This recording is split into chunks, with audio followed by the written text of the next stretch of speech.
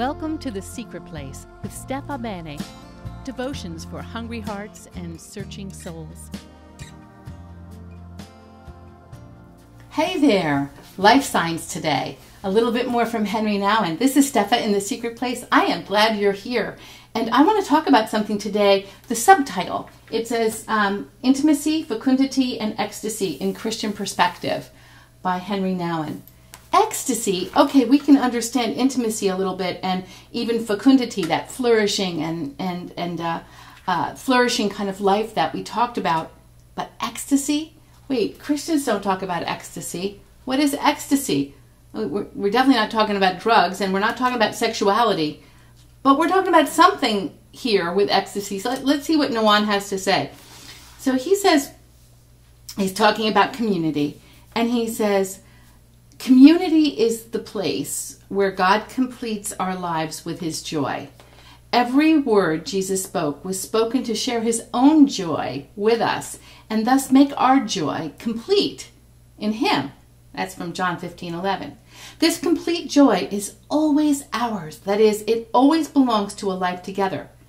Ecstasy is always a movement towards shared life. Static living separates us and turns us into isolated individuals fighting for our own individual survival. But ecstatic living leads us to the place where new life is discovered among us. It makes us break through the walls of isolation and become a people of God, people who proclaim the joy of eternal life that has already begun. It is the first sign of the kingdom that Jesus came to proclaim. Mm, there's a lot there, isn't it? So ecstasy, wow, what did he say again? Ecstasy is always a movement toward shared life. That's probably where the idea of ecstasy um, in terms of sexuality comes from. But but obviously, let's look at it outside of the sexuality here. Life together in the gathering of the believers is a place where Nouwen is saying you can really find joy. Um, this is so important, and I think it's so misunderstood. It's like some people think, well, why are Christians so happy? Every time I look, they've got a smile on their face, they've got all this happiness, this joy, and for what reason? Her life is just miserable, and his life is he's impoverished, and she just lost her job, and why are they so happy? So if you know Christians like that, and that's the stereotype you've seen, well, you know, in some ways that's great because there is that joy that, and that just like the peace that passes understanding, there's that joy that is situated in something other than the material world, right? Um, I'm sure, though, some of you might say, well, that's not the stereotype or the norm I see among Christians I know. Uh, I see the opposite. Well, I, I, see the opposite too. We, we've got to remember that everyone who goes by the name of Christ, who is a Christ follower, what do we have in common besides that belief? We're all human. We're all human. We are all human, and we are all having to deal with the human condition. So when Nouwen talks about ecstasy being uh, compatible with joy, or parallel to joy or mixed up with joy. He is associating it with the shared life of the people of faith, the life that we share together.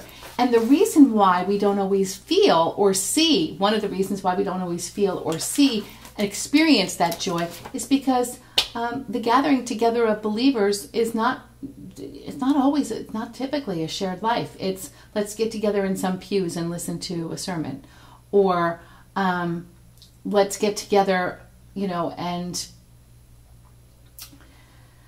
uh, just not really share life, but sit together and listen and be kind of passive. Um, I used to call it pew potatoes. Just sit there.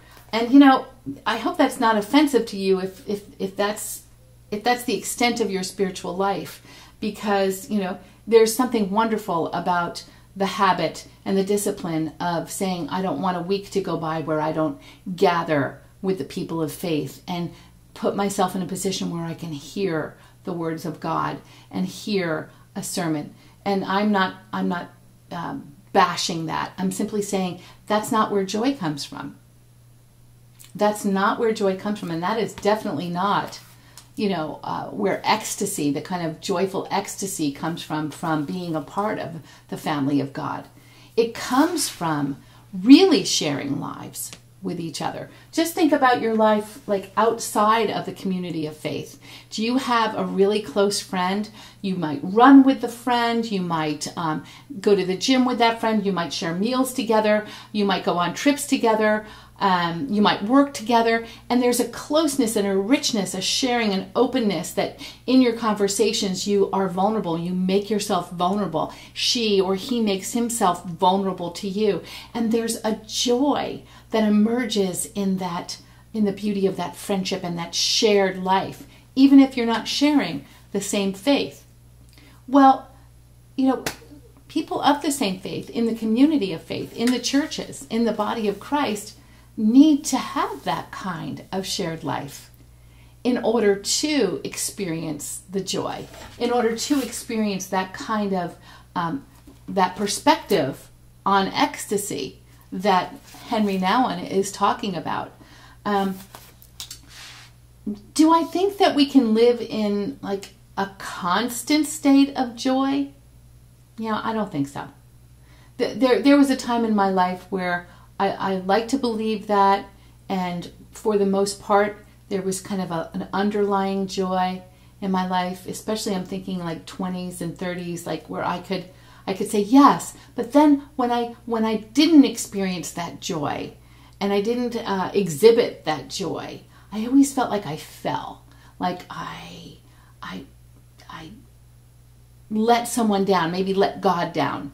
Like somehow I've got my eyes on uh, something else, not on not on him. Somehow, you know, I'm letting that joy dissipate from my life, and it's my fault. You know, and that would just get me down. Ugh, talk about moody. That would just get me down. But today, and this last bunch of years, I I don't think it's a I, I don't think it can be a constant state. And I think that when it appears as a constant state, I think it's more of either a pretense or just a wannabe Christianity, like an idealized version. Wish it were so, wish it were so. We're in this world, and, as beautiful as it is, as much as I, I know I talk a lot about the beauty and the, the beauty of creation and, and what God made for us and how He, um, the patterns and the, just the glory of His creation. Come on, come on, there, there's a lot of darkness and pain. And, you know, if, if, if right at this moment you're not having darkness and pain, that is so good. That's wonderful. But all you have to do is just tilt your head sideways a little bit this way or, or next and see people in great pain. And then if, if in your inner circle no one's in great pain, that's really good. But then just look a little farther into your community or into extended family or into the next state over or another culture. There is so much darkness in this world. And the and so what I'm saying is if we're in constant joy, there's no time to lament. And we need to lament. There's times for lamentation. There's a whole book in the Bible called Lamentations. And if you look at Psalms, much of what David did and some of the prophets did, many of the prophets did throughout the Old Testament, the Old Covenant, is lament. There's room and there's need for it. Why do you think God gave us tears? We need to express the grief. So, how do you express that grief? How do you let the tears flow? How do you open up to feel the pain if you if you're in constant joy? So my my uh, admonition for today is don't get down on yourself if you're not in constant joy. You cannot be. You can is there always something to be grateful for? Yes absolutely. But that place of ecstasy that that is so like the joy that Nouwen talks about there's a time for that. Like it says in ecclesiastes there's a time for you know there's a time for everything. There's a season and time for everything under the heavens. Um, a time to give birth and a time to die. a time to hold on to someone and kiss them, a time to refrain from it. Uh, there's a time for everything. So let's let's remember to that there is a hope for joy and there's room for joy. There's lots of room for joy. And the Lord said in what I read to you, um, let their joy be full. You know, there is room for this.